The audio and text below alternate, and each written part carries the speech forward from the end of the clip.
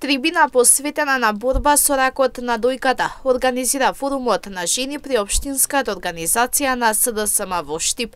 На трибината која е закажана за денеска ќе зборуваат еминентни лекари кои ќе принесат пораката за подигнување на свеста за ракот на дојката за што е потребна рана диагностика и превенција преку здрави навики за жените во нашето општество. Почитувани девојки, жени, наши сограѓанки, По повод Розов октомври, месец посветен на превенција и рано детектирање на ракот на дојка, Форумот на жени при Обштинската организација на Социјалдемократскиот сојуз Штип организира едукативна граѓанска трибина, на која своји обраќање ќе имаат еминентни доктори од јавното здравство, како доктор Маја Манолева, заменик министер за здравство, доктор Ален Георгиев, директор на клиничка болница Штип и доцент доктор Марија Караколевска Илова.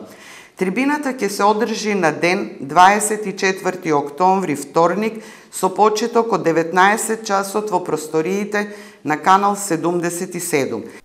Трибината ќе го вклучи хуманитарниот аспект, бидејќи собрани финансиски средства ќе се наменат за оние жени кои се лекуваат од ракот на дојка.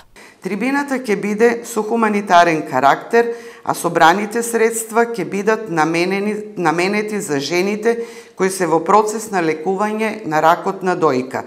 Форумот на жени на СДСМ Штип и во иднина ќе организира и ќе продолжи со вакви едукативни трибини се со цел подигање на свеста и поголема грижа за женското здравје. Светскиот месец посветен на борбата со ракот на дојка во рамки на форумот на жени беше одбележан и минатата година. Дел од активностите беа розова аукција и трибина за борба и превенција, при што собраните финансиски средства се поделија на жени кои се бореа со болеста.